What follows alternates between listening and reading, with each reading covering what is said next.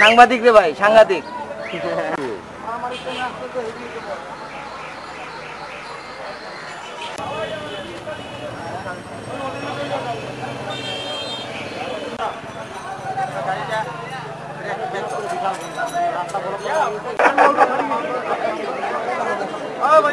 ভালো করলেন।